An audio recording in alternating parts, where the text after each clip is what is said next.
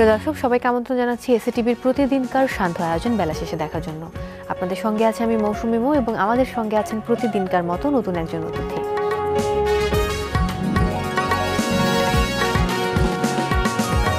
দর্শক, আজ আমাদের সঙ্গে আছেন এই প্রজন্মের একজন খুব উদীয়মান তারকা বলব আমি, কারণ যারা এখন অনেকেই অনেককেই আমরা পাচ্ছি যারা নতুন মুখ খুব ভালো অভিনয় করছেন এবং বিভিন্ন টেলিভিশন সিরিয়ালে অভিনয় করছেন। তেমনই একজন আজ আমাদের মাঝে আছেন। অভিনেত্রী বলব আমি অভিনেত্রী এবং মডেল কাজী জাফরিন মুন। কেমন আছো? ভালো আছি তুমি করে বললাম কারণ আমরা পূর্ব পরিচিত এবং আজকে আমরা আড্ডাই দিব মনে হয়। আমি অনেক খুশি হয়ে গিয়েছি তোমাকে দেখে আজকে। আমারও ভীষণ ভালো লাগছে খুব ভালো আছি। একদম সম্প্রতি যে কাজগুলো করেছ সেগুলো নিয়ে আগে একটু জানব। এখন আমি দুটো সিরিয়াল করছি। যেটা একটা হচ্ছে চাপাবাজ আর একটা হচ্ছে নির্খুঁজে গাংচিত আচ্ছা। এই দুটো সিরিয়াল নিয়ে এখন ব্যস্ত আছি। মোট কত পর্ব শেষ হলো? এইটার চাপাবাজের চারশো চুরানব্বই পর্ব মেবি শেষ হয়ে গেছে। তুমি মানে অ্যাটেন্ড করেছিলে কোন আমি পর্ব থেকে? অ্যাটেন্ড করেছি হচ্ছে রিসেন্ট অ্যাটেন্ড করেছি আর কি এটাতে। মানে সামনে যে পর্বগুলো যাচ্ছে মানে এই উইক থেকে আমার পর্বগুলো শুরু হয়ে স্টার্ট আচ্ছা আচ্ছা মানে একেবারেই নতুন বলতে গেলে এখানে যাত্রা শুরু। আমি একটু চরিত্রটা সম্পর্কে জানতে চাই চাপাবাজের। আমি এখানে খুবই একটা ডিফারেন্স ক্যারেক্টারে কাজ করেছি। কারণ এখানে আমি একটা চলচ্চিত্র নায়িকা হিসেবে কাজ করেছি যেটা আগে আমার কখনো করা হয়নি। এটা একটা আচ্ছা। কমেডি একটা সিরিয়াল যাচ্ছে। তো আমি আসলে এই চরিত্রের মধ্যে নিজেকে নিয়ে কাজটা করতে আমি খুবই এক্সাইটেড হয়ে গেছিলাম। কারণ এত মানে নায়িকা হিসেবে কাজ করা আমি অবশ্য নায়িকা হিসেবে কাজ যেহেতু করছি বা চলচ্চিত্রের নায়িকা সেটা আসলে অন্য একটা ব্যাপার হয়ে দাঁড়িয়েছে। আর আমার সাথে যারা কো আর্টিস্ট ছিল তারা খুবই কমেডি টাইপ মানে সিরিয়াল আছেন? আমার সাথে কো আর্টিস্ট আছেন কমেডিয়ান শাহিন ভাইয়া তারপর জ্যাকি ভাইয়া তারপরে তুষ্টি আপু আছে এখানে ফারুক আহমেদ আছেন নাদের খান আছেন এই তো। আচ্ছা তার মানে টোটাল তাহলে কয় এপিসোড শুটিং করা শেষ হলো এই সিরিয়ালের আমি তো রিসেন্ট রিসেন্ট ঢুকেছি তো মাত্র শুরু আর কি এটা দেখা যাবে যে আচ্ছা। এরকম কোনো চুক্তি হয়েছে যে কত পর্ব পর্যন্ত তোমাকে দর্শক দেখবে এই সিরিয়ালে আর না এটা হচ্ছে এক হাজার পর্বের সিরিয়াল তো জাস্ট আমি জাস্ট এন্ট্রি করেছি এটা আচ্ছা। দেখা যায় কতদূর পর্যন্ত আমাকে টানা যায় দর্শক কতটুকু আমাকে হ্যাঁ হ্যাঁ, হ্যাঁ। টেনে নিয়ে যেতে সাহায্য করে তো সেটার উপর ডিপেন্ড করছে আচ্ছা আর কোন সিরিয়ালটি শুরু করেছ নতুন? নামটি জানতে চাই। এটা অবশ্য নতুন না এটা আমি প্রায় দেড় বছর হয়েছে কাজ করছি নির্খুঁজে গান ঝিলে দেড় বছর বা ওয়ান ইয়ার এরকম হয়েছে। আচ্ছা। এই। ওটার ওটার নাম কি তোমার ওই চরিত্রে? ওই চরিত্রে আমার মুন নামেই আমার ওটার ক্যারেক্টারটা আমি ওখানে কক্সবাজারের একজন মেয়ের ক্যারেক্টার করেছি। ওটা বেসিক্যালি একটা হোটেল নিয়ে আর কি এই গল্পটা সাজানো হয়েছে। আচ্ছা। হোটেলে বিভিন্ন দেশ থেকে জায়গা থেকে সবাই আসে। তো তাদেরকে নিয়ে এক একটা গল্প তৈরি হয় আর কি আচ্ছা মানে প্রতি পর্বে দেখা যায় গল্পের একটা ভ্যারিয়েশন থাকে চেঞ্জ হয়। হ্যাঁ চেঞ্জ হচ্ছে। তাহলে প্রথম সিরিয়াল কোনটা ছিল? এটা দিয়ে কি প্রথম শুরু? যেহেতু দেড় বছর ধরে কাজ করছ। না এটাতে প্রথম শুরু হয়নি। প্রথম আমি শুরু করেছিলাম আমাদের একটা চ্যানেলে ভালোবাসা কারে কয় ওই সিরিয়ালটা দিয়ে। মানে বেসরকারি একটা চ্যানেলে জাস্ট ওইটাই আমার ফার্স্ট কাজ ছিল আচ্ছা ওটাও কি ধারাবাহিক ছিল নাকি হ্যাঁ। এক পর্বের ওটা ধারাবাহিক ছিল। এরপরে আমি জাস্ট আমার অনিয়ার শেষ হয়েছে গত কয়েক মাস হবে। এটা আকাশে মেঘনে এটা আমার খুবই পছন্দের একটা সিরিয়াল অনেক পর্বের একটা সিরিয়াল ছিল অনেক বড় একটা ক্যারেক্টার করেছি। মানে এখন পর্যন্ত যদি আমাকে বলা হয় যে আমি কোন কাজটা করে খুব ভালো লেগেছে আমার তাহলে বলব আমি এই সিরিয়ালটা করে আমার খুবই ভালো আচ্ছা লেগেছে। ওখানে তোমার চরিত্র কি ছিল? ওখানে আমি একজন চারুকল স্টুডেন্ট ছিলাম। বা অনেকে যেটা হতে চায় একদম মন খুলে ঘোরা যায় প্রাণ খুলে সবকিছু করা যায়। পুরো স্বাধীন। আমি আচ্ছা। আমি ক্যারেক্টার করতে যে আমাকে নিজেকে খুব মনে হয়েছে যে হ্যাঁ আমি অ্যাকচুয়ালি চারুকলার স্টুডেন্ট কারণ আমার ক্যারেক্টার হচ্ছে আমি খুব গম্ভীর টাইপ থাকি। কিন্তু আমি অনেক কিছু বুঝি অনেক কিছু অবজার্ভ করি বাসায় কি হচ্ছে না হচ্ছে কিন্তু আমি কখনো বলতে চাই না। কারণ আমি আমার কাজ নিয়ে আমি আমার ক্লাস নিয়ে খুব পড়ে থাকি। হ্যাঁ। তারপরে এমন একটা মোমেন্ট আসে যে একজনের সাথে আমার একটা পরিচয় হয়ে যায়। আমার কো আর্টিস্ট ছিল হচ্ছে কাজী আসিফ রহমান ভাইয়া। হয়তো বা ভাইয়া অনেকেই ছিলেন হ্যাঁ। তো এই তো আর আমার সাথে অনেক সিনিয়র আর্টিস্টরা কাজ করেছে। এটা আমার জন্য অনেক বেশি ব্লেস যে আমি তাদের সাথে কাজ করতে পেরেছি। এত আচ্ছা। লং টাইম ধরে এত ভালো একটা সিরিয়াল করেছি। আচ্ছা আমি একটু আবার পূর্বের গল্পে যাই যে এতগুলো সিরিয়াল করে ফেলেছো অলরেডি এবং যাত্রাটা কিন্তু দেখা যায় যে মডেলিং থেকে অনেক অভিনয়ে আসে। বাট তোমার ক্ষেত্রটা একটু ভিন্ন। মানে তোমার অভিনয়ে আসার গল্পটা কিন্তু একদমই আলাদা। আমি একটু আসার গল্পটা জানতে চাই। আমি খুব ছোটবেলা থেকেই নাচ করি। মানে আমি বাফার থেকে নাচ কমপ্লিট করেছি। তো সেখান থেকে হচ্ছে আমার মিডিয়াতে আসা। কারণ আমি খুব ছোটবেলা থেকে বিভিন্ন চ্যানেলে নাচ করতাম।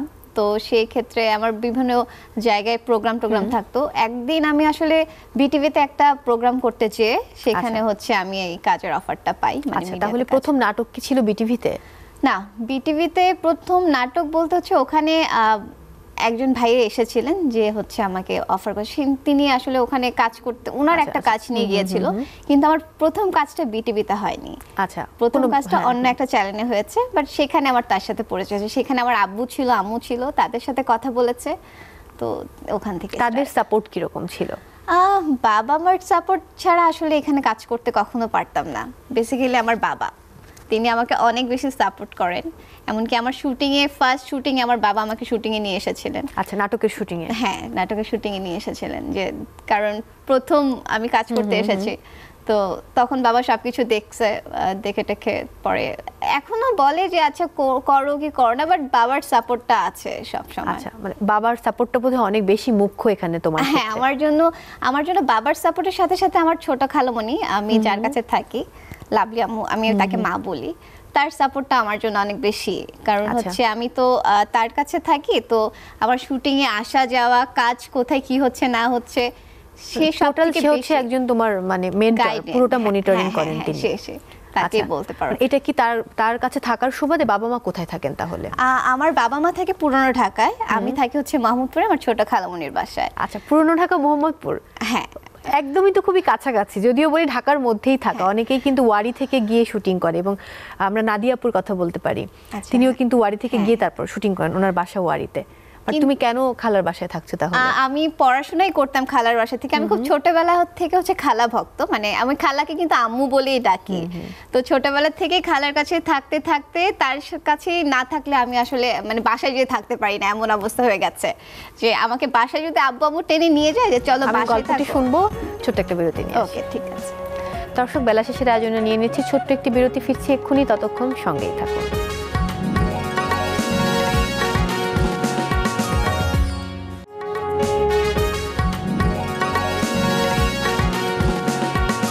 দর্শক, ফিরে এলাম বিরতির পর আবারও স্বাগত এসএ টিভির প্রতিদিনকার শান্ত আয়োজন বেলা শেষে দেখার জন্য।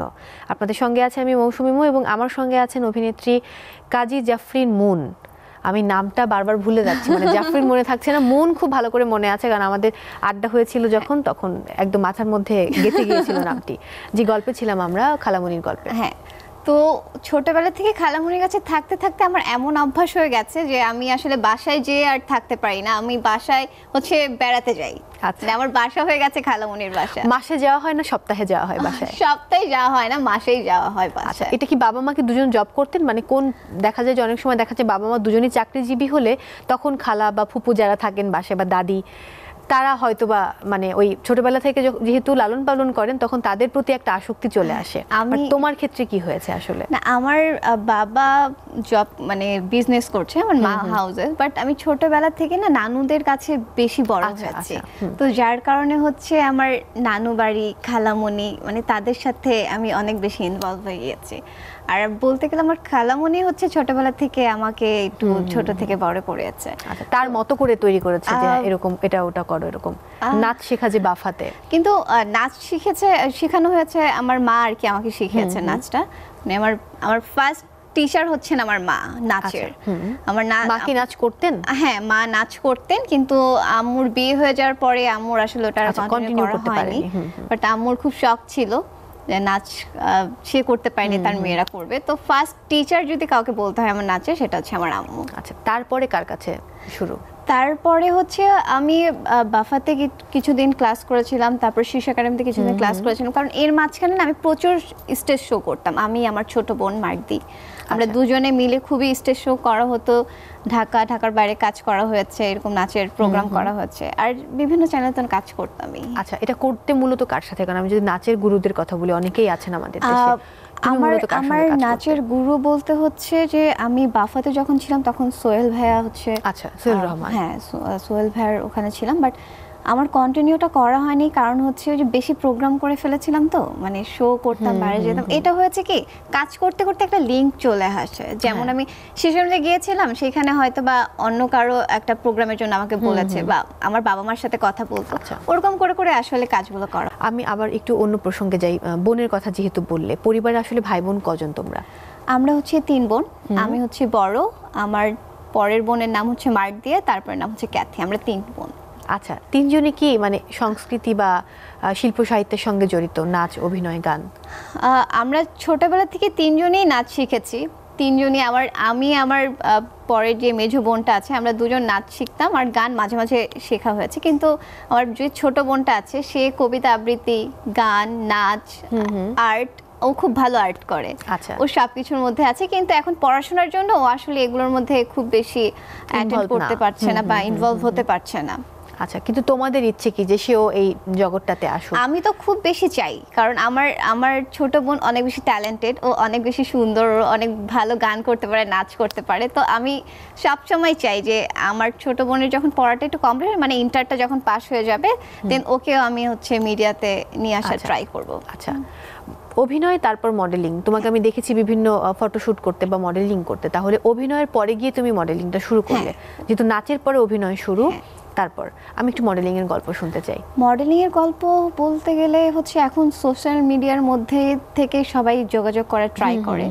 তো তখন আসলে আমি একটা আমার ফটোশুট করেছিলাম পোর্টফোলিও যেটা বলে হ্যাঁ, আর নিজের portfolio হ্যাঁ, তৈরি করা। যে সেটা করেছিলাম। তো সেখান থেকে ফার্স্ট আমার ডাক আসে হচ্ছে ওজির একটা যে ফ্যাশন হাউস আছে সেখানে ওখানে আমি ব্র্যান্ড অ্যাম্বাসিডার হিসেবে দুই বছর কাজ করেছি। মানে আমার মিডিয়ার বয়স হচ্ছে তিন বা সাড়ে তিন বছর। আচ্ছা। এটা হচ্ছে জাস্ট ফার্স্টের দিকের কথা। তখন কাজ করা হয়েছিল ওজিতে আরও বিভিন্ন কিছু পত্র পত্রিকাতে আচ্ছা, আচ্ছা। কাজ করেছি ওদের তারপরে ওদের যে ফিচার পাতাগুলো হ্যাঁ থাকে। ফিউচার পাতা যে ফিচার পাতা হ্যাঁ, ওটা আর কি। কাজ করা হয়েছে। তারপরে তোমাকে আমি দেখেছি টিভিসি করতে। মোট কয়টি টিভিসি করেছ? আমি এখন পর্যন্ত তিন তিন চারটা টিভিসি করা হয়ে গেছে অনেকগুলো এখনও অন ইয়ার আসেনি। লাস্ট যেটা করেছে সেটা হচ্ছে বাংলা লিংকের হান্ড্রেড এমবি যেটা সেটাতে কাজ করা হয়েছে। আচ্ছা আরও নতুন কোনো কাজ কি রয়েছে হাতে? আর নতুন হ্যাঁ নতুন টিভিসির জন্য কথা চলছে দুটো। একটা হয়তো বা আগামী মাসে শুটিং করা হবে। এটা নতুন একটা ইলেকট্রনিক্সের একটা আচ্ছা। টিভিসি আর আরেকটার কথা চলছে এটা এখন না বলি। কারণ যেহেতু ইলেকট্রনিক্সের ওটা অনেক ফাইনাল হয়ে গেছে কথাটা এটা হয়তো আগামী মাসে শুটিং করব। আর আরেকটার কথা চলছে সেটা আমরা এখন জানতে এখন না জানি কারণ ওটা আমি নিজেও শিওর না যে এখন কথা চলছে যে হবে কি করব কি করব না। এবারে রোজার ঈদে এবং কোরবানির ঈদ গেল মানে খুব বেশি দিন হয়নি মাসখানিক হলো। রোজার ঈদ এবং কোরবানির ঈদে কি কোনো এক পর্বের বা ধারাবাহিক কোনো নাটক গেছে তোমার? এবার আমার টেলিফিল্মগুলোতে বেশি কাজ করা হয়েছে। আমি দুটো টেলিফিল্ম করেছি গত কোরবানি ঈদে। একটা হচ্ছে গোলাপি কামিজ আর একটা হচ্ছে প্রেম কাব্য। আচ্ছা দুটো দুটো ভিন্ন চ্যানেলে। গিয়েছে। তোমার চরিত্রগুলো সম্পর্কে একটু বলো। আমার গোলাপি কামিজ যেটা ছিল সেটা হচ্ছে আমি মেহজাবিন আপুর ছোট বোনের ক্যারেক্টারটা করেছি। এটা খুবই আচ্ছা। মজার ক্যারেক্টার ছিল। কারণ হচ্ছে আপু হচ্ছে বাইরে যে কি করে না করে সবকিছু এসে আমাকে বলতো। আমি আপুকে সাজেস্ট করতাম যে এটা করো ওটা করো। আচ্ছা। তো খুবই মজার একটা ক্যারেক্টার ছিল। আর প্রেম কাব্যতে হচ্ছে এটা আমি ওই ফ্যামিলির একমাত্র মেয়ে থাকি। আমার হচ্ছে বাবা মা নেই আমি আর আমার ভাই। এই দুইজনকে আচ্ছা। নিয়ে হচ্ছে গল্পটা। হয়েছে। আমার ভাইয়ের ক্যারেক্টার করেছে সজল ভাইয়া। তো আমার ভাইয়ের হচ্ছে আহ, একটু প্রবলেম থাকে। প্রবলেম হচ্ছে মানে আমার ভাইয়ের ক্যান্সার থাকে আর কি। আচ্ছা, আচ্ছা। যেটা হচ্ছে ভাই আমাকে জানায় নেই। আমি খুব আদরের একটা ছোট বোন থাকি। বাট লাস্টের দিকে যে আমি জানতে পারি যে আমার ভাইয়ের এই প্রবলেমটা খুবই মানে দুঃখ ভারাক্রান্ত হ্যাঁ, একটা বিষয়। আমি আরেকটি বিরতি নিয়ে নিই তারপর আবার কথা হ্যাঁ, ফিরছি। দর্শক বেলা শেষের আয়োজনে নিয়ে নিচ্ছে আরও একটি বিরতি। ফিরছি এক্ষুনি ততক্ষণ সঙ্গেই থাকুন।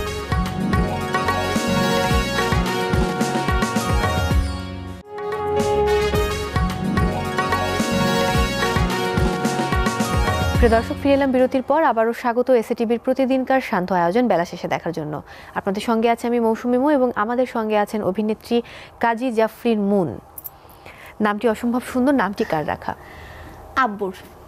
বাবার ভূমিকা অনেক বেশি মনে হচ্ছে। মানে বাবার প্রতি মেয়েদের ভালোবাসা সব সময় থাকে। এটা নতুন না যে সব মেয়েকে জিজ্ঞেস করলে যে কাকে বেশি ভালোবাসে বাবা না মা? বাবার কথাটাই প্রথমে আসলে আমার জন্য বাবা সবকিছু। মানে আমার লাইফের সব থেকে ইম্পর্টেন্ট পার্ট হচ্ছে আমার বাবা। যদি অভিনেত্রী না হতে বা এই জগৎটাতে না আসতে বিনোদন জগতে তাহলে কি হতে? বাবা কি চাইতেন? বাবা সবসময় চাই সরকারি চাকরি করতে। মানে আচ্ছা। এটা বাবার এখনও আমার বাবা বলে যে আচ্ছা ঠিক আছে কাজ করছ বাট ট্রাই করো যাতে একটা সরকারি জব টব যাতে করা যায় আব্বু সবসময় এটা বলে। মানে আব্বুর খুব এটার প্রতি একটা দুর্বলতা কাজ করে এটা সব বাবা মার তারা চায় যে ছেলে মেয়ে স্থায়ী কিছু করুক যেখানে নিরাপত্তা আছে আস্থা আছে কোনো ভয় নেই। কারণ আমরা যে জগৎটাতে কাজ করছি হয়তো বা অনেকের মনের মধ্যে একটা মানে সুপ্ত একটা ভয় থেকে যায়। কোথায় পড়াশোনা করছ?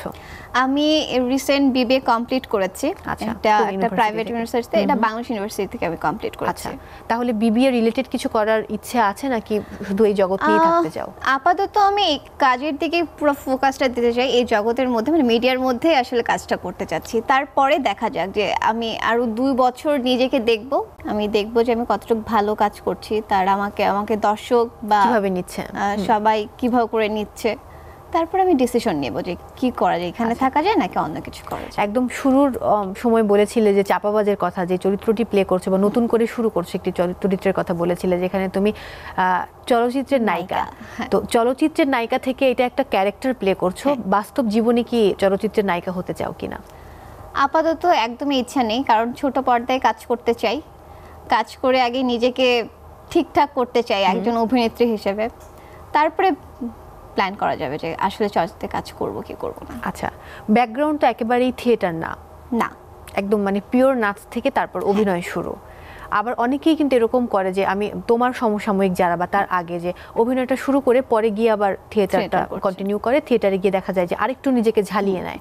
তো এরকম তোমার কোনো ইচ্ছে আছে কিনা যে থিয়েটার করার? আমি অনেকবারই চেষ্টা করেছিলাম যে আমি একটু থিয়েটার করি আমার অভিনয়টাকে আরেকটু পাকাপোক্ত করি আর একটু ভালো করে শিখে আসি। কিন্তু তখন আসলে পড়াশোনার পাশাপাশি কাজটা করা হচ্ছিল তো তো টাইমটা আসলে মেনটেন করাটা খুব প্রবলেম হয়ে যাচ্ছিল আমার জন্য। বাট আমার ইচ্ছা আছে যে আমি এখন যেহেতু ফ্রি আছি এখন যেহেতু একদম কাজের দিকে ফোকাসটা আছে তো ট্রাই করব যে থিয়েটার করার জন্য। আচ্ছা করলে কোন দলকে বেছে নেবে? আমি কিন্তু ছোটবেলায় থিয়েটার করতাম একটা।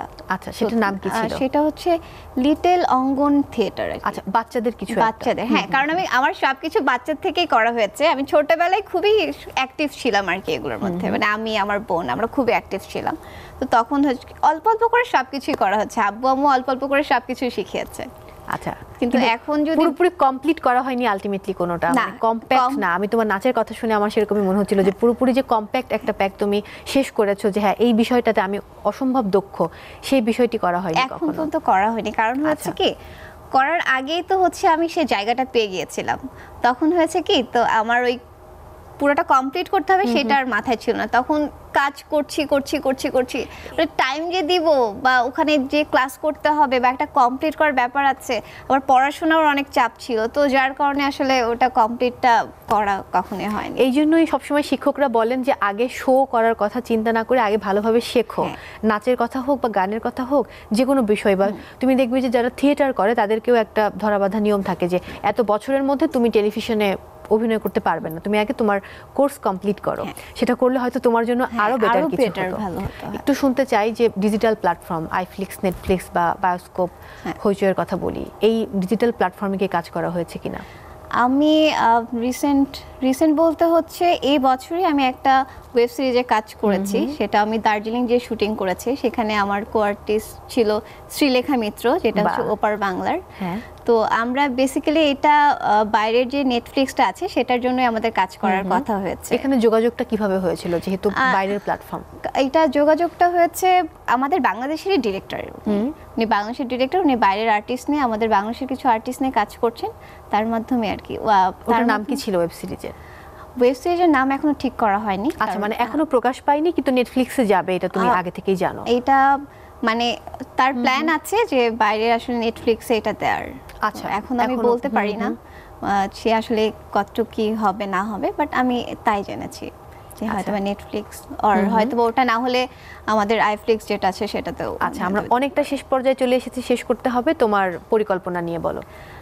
আমার পরিকল্পনা বলতে যেটা বললাম আগামী দু বছর খুব ভালোভাবে কাজ করতে চাই নিজের একটা অবস্থান তৈরি করতে চাই আমি দেখতে চাই যে আমি কতটুকু কাজ করতে পারব। আমি আশাবোধ অনেক নিজেকে নিয়ে কারণ আমার মনে হয় যে আমি একটু সময় দিলে আমি হয়তোবা খুব ভালো কাজ করতে পারব আমি একটা ভালো একটা অবস্থান তৈরি করতে পারব। তো সেটাই আর কি অনুপ্রেরণা কে তোমার? একদম শেষে জানতে চাচ্ছি যে এত স্বপ্ন দেখছ অভিনয় নিয়ে এবং পুরো নাচ ছেড়ে দিয়ে অভিনয়ে এসে। অনুপ্রেরণা বলতে হচ্ছে আমার বোন আমার খালামণি আমার বাবা সবার কথা বলতে হবে। আমি একজনের নাম ঠিক বলতে পারব না যে। মডেলিং করারও কোনো ইচ্ছে নেই শুধু অভিনয় নিয়েই থাকতে চাও? না মডেলিং অবশ্যই করতে ইচ্ছা আছে। অভিনয় মডেলিং দুটোই করতে চাই। বাট আমার বেশি ফোকাসটা আমি অভিনয়ের দিকে দিতে চাচ্ছি। এবং ছোট পর্দায়? হ্যাঁ এবং ছোট পর্দায়। অনেক ভালো থাকো অনেক অনেক শুভকামনা। আমি বিদায় নিচ্ছি। তোমাকে অনেক বেশি ধন্যবাদ। খুব ভালো লাগল, অনেক ভালো একটা আড্ডা দিতে পেরেছি। আসলেই তাই, আমি বিদায় নিয়ে আসছি, তারপর আমরা আবার আড্ডা দেব। দর্শক, আজকের মতো বেলা শেষের আয়োজন থেকে বিদায় নিচ্ছি। অনেক ভালো থাকুন আর প্রতিদিন চোখ রাখুন এসএ টিভি পর্দায়।